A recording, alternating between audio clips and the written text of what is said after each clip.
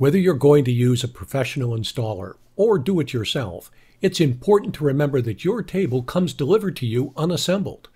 As you can see, here we have laid out all of the hardware in a manner that will allow for easy access and assembly. Now let's begin the first step in the assembly process. We begin with the nuts and bolts that will connect the corner frame bracket. Now we have the leg, the wood, and the washer and bolt to be used later for the leg attachment. Next we have both sets of our pocket bolts and their washers to be used. We have now laid out the long cabinet frame or the skirting with all of the appropriate bolts, nuts, and washers in place. The quad beam pieces are pre-notched for easy assembly. We begin with attaching the corner frame bracket to the short cabinet, making sure that all the bolts are tightly fastened. Now we connect both corner frame brackets to the corner piece. The next step is to connect the long cabinet piece to the corner brackets that we have already attached to both ends of the short cabinet. Repeat this procedure at both ends of the long cabinet. Upon completion, make sure that all of the bolts in the corner frame are tight. Also make sure that all of the sides are even and flush when tightening the hardware. We now place the leg through the bottom hole in the corner frame bracket. Place a washer and nut on the rod that is already installed in the leg. Insert two wood screws through the corner frame bracket into the leg. Repeat the process for the remaining legs. Now to install the corner trim pieces. Place the pieces so that they are flush with the bottom of the cabinet and the top of the table. Insert the corner trim hardware through the corner frame bracket into the corner trim piece insert. Install two wood screws through the corner frame bracket into the corner trim piece. Place the short frame boards into the frame receivers. Then install both of the long frame pieces into the short frame pieces and the frame receiver. Now tap down gently with a rubber mallet as needed. Make sure your frame looks even and flush with the top of the cabinet. We will now begin to install the frame beam hardware into the frame beam receiver inserts at all of the corresponding places. Now we are ready to install the slate support blocks. Each block will require two bolts for installation as we install the blocks around the table. Upon completion, it is now time to begin to level the table, make sure the table is level from left to right, and the length of the table before putting the slate on. Begin to place your slate pieces on the table, being sure that the center piece is dead center in the table. Your long screws will be inserted through the pre-drilled holes in the slate to connect to the support blocks.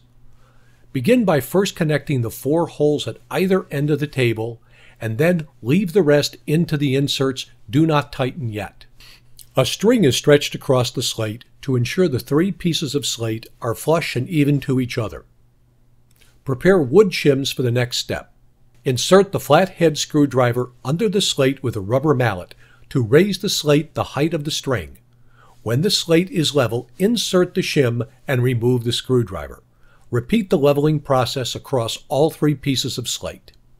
If all the sides are level, a $5 bill should not be loose under the level. Now tighten the remaining screws when the slate is even with the string and the surface is level. Take a razor blade to gently scrape across the seams to remove uneven areas. We're going to use a lightweight drywall spackling to apply to the slate seams with a putty knife. Caution, use sparingly only enough to fill the slate seams. Allow to dry. Make sure the playing surface is free of any debris or dust particles that could affect the playing surface. Once the playing field is cleaned, the felt goes on the table. Make sure that the sticker side of the felt cloth is placed up. Stretch across the table evenly. Fold lengthwise into thirds across the length of the table towards the middle of the table. Do not reposition the cloth. You will need a fast tack adhesive to adhere to the felt slate. Apply adhesive to the middle of the end piece of the slate first. Do this at both ends and pull the felt taut. Now apply the adhesive to the inside edge of the center pocket as well as the playing surface of the pocket. Now the felt is moved from the middle of the table to the original position around the center pocket. Smooth out any wrinkles and clamp down. Now the process moves to the corner pocket areas of the table and be sure to smooth out any wrinkles at this time. While we engage in the stapling process, we continue to pull the felt taut while being sure to staple into the wood area below the slate through the entire length and width of the table must be stapled. Now we are going to cut the corner felt overlay into 6 inch triangular tabs, making sure the point of the cut is even with the wood. Stapling is done into the pocket and at the underside of the table. The process is repeated at each pocket. We cut an X into the felt to align with each rail hole for screw attachments. Now we are going to lay out the rails around the table, long sides and both ends. The pockets are attached to the rail via the pocket receiver slots on the table. Then all of the pieces are pushed together and each bolt is tightened into place. Then the rail assembly is flipped over and put on the top of the table.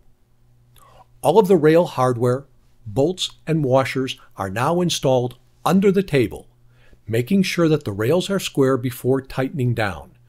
Now we can install the pocket screws into the wood slate frame. This is the last step and completes the process of a pool table assembly. Your table is now ready for hours of fun and enjoyment and should last a lifetime.